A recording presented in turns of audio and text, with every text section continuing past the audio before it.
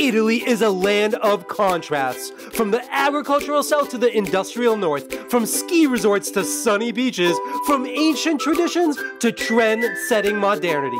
Yet it all works in a seamless blend that informs the cultural identity of what it means to be Italian.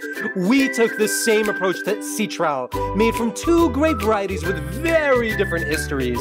Trebbiano is an Italian white wine staple, making fresh, food friendly wines, and Chardonnay, relatively new on the scene and celebrated for the brash, round, and creamy glass it pours.